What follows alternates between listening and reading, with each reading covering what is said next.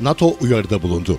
Ukrayna sınırındaki Rusya askeri yığınağının sürekli arttığını ve böyle devam ederse işin sonunun hiç de iyi olmayacağını işaret ediyor. Peki NATO'nun herhangi bir Rus saldırısı karşısında tutumu ne olur? Putin'in Sovyetler hayalini gerçekleştirmesi yönünde bir Sovyet propagandası da olan Donbas Sovyetlerin kalbidir şeklindeki algının oluşturduğu psikolojik savaşta resmi olarak hiç müdahil olmamasına rağmen bir zafer kazanmışken Putin daha da ileri gider mi? Putin Sovyet topraklarını geri kazanmayı mı hedefliyor? Putin Ukrayna'ya girer de NATO bir şey yapamazsa NATO dağılır mı? Yorum sizin.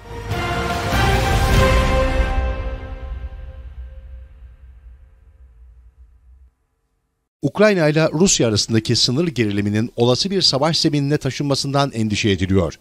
Rusya, Ukrayna sınırındaki bölgeyi askeri saha haline getirme sürecini sürdürürken konuyla ilgili NATO'dan açıklama yayımlandı. Son dakika haberine göre NATO Genel Sekreteri Jens Stoltenberg, Rusya'nın Ukrayna sınırı yakınındaki askeri yoğunlaşmasının sürdüğünü açıkladı.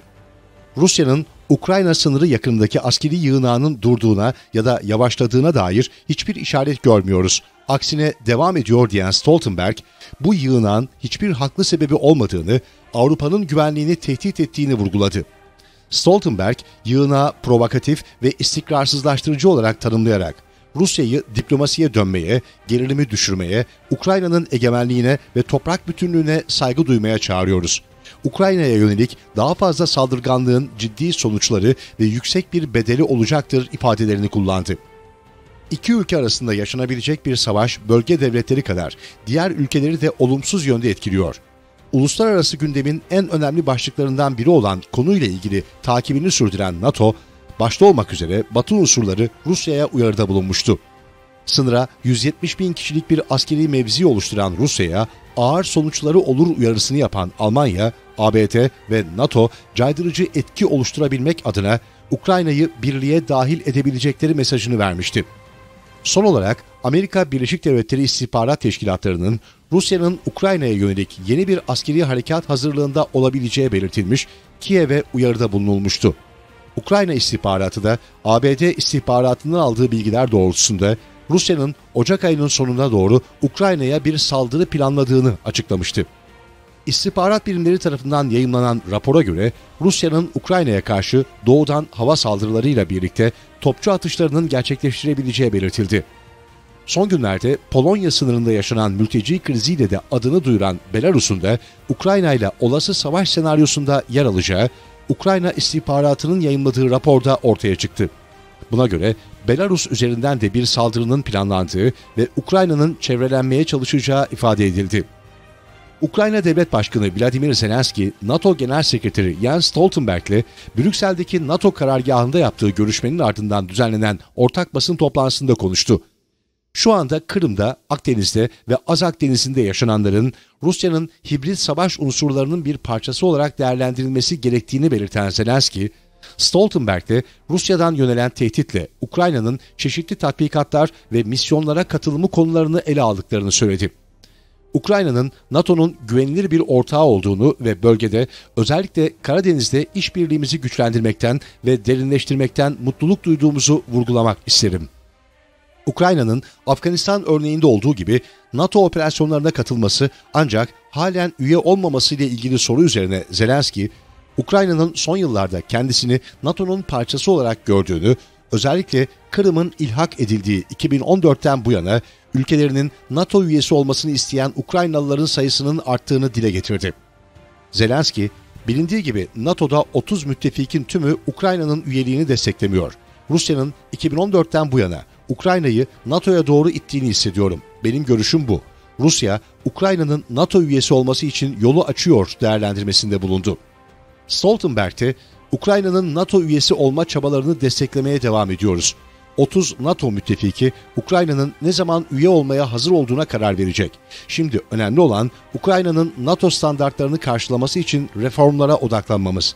Zelenski'nin bu konudaki güçlü bağlılığını memnuniyetle karşılıyorum diye konuştu.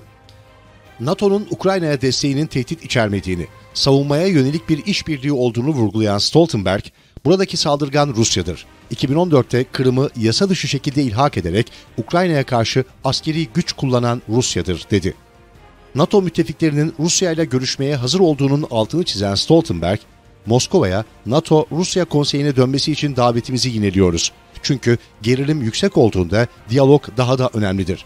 Aynı zamanda NATO, Rusya'nın Ukrayna sınırı yakınındaki askeri yığınağına karşı teyakkuzda kalmaya devam ediyor ifadesini kullandı. Belçika'nın başkenti Brüksel'de bulunan Avrupa Birliği Konseyi binasında gerçekleşen zirveye Doğu ortakları Ermenistan, Azerbaycan, Gürcistan, Moldova Cumhuriyeti ve Ukrayna katıldı. Belarus, Doğu ortaklığına katılımını askıya aldığı için toplantılarda yer almadı. Zirve sonrasında Avrupa Birliği Konseyi Başkanı Charles Michel ve Avrupa Komisyonu Başkanı Ursula von der Leyen ortak bir basın toplantısı düzenleyerek ele alınan konular hakkında bilgiler verdi. Basın toplantısında ilk olarak söz alan Avrupa Birliği Konseyi Başkanı Charles Michel, bu zirve hukuk devleti, idare, temel haklar ve demokratik değerler üzerine kurulu olarak toplandı. Bu zirve reform süreçlerini desteklemek için özellikle de dijital alanda ve dijitalleşme konularında halkların beklentilerini cevaplamak adına niyet beyanı olmuştur. Bunun yanında yatırım paketiyle gençlerin, COBİ'lerin desteklenmesini ve ayrıca güvenlik konusunu ele aldık dedi. Rusya'nın Ukrayna sınırında askeri yığınak yaptığına iddialarına ilişkin gelişmelerin de ele alındığını bildiren Michel, ayrıca Ukrayna'nın toprak bütünlüğüne sahip çıkma fırsatını bulduk. Rusya'nın tehditlerine karşı NATO, G7, ABD, İngiltere, Avrupa Birliği ve Doğu Ortaklığı ülkeleri olarak birlikte bir duruş sergiliyoruz.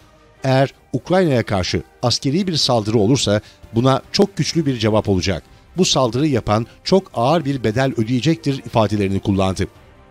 Basın toplantısında söz alan Avrupa Birliği Komisyonu Başkanı Ursula von der Leyen ise Belarus konusunun geniş bir şekilde ele alındığını belirtti. Leyen, bugün bu toplantıda Belarus'u boş bir koltuk temsil etti. Çünkü Belarus'un başında halkı baskılayan, sığınmacıları kullanan ve Avrupa Birliği'nin değerlerine ve sınırlarına saldıran bir yönetim var.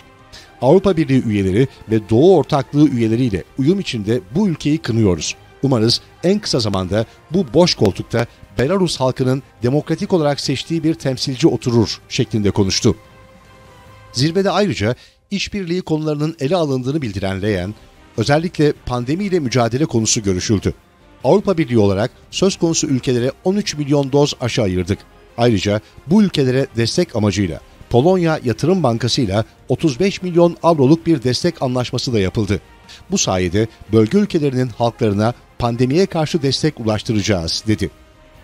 Rusya ile gerginliğe de değinen von der Leyen, Avrupa Birliği Komisyonu olarak olası saldırılar halinde mevcut yaptırımların genişletilmesi konusunda konsey tarafından yetkilendirildik.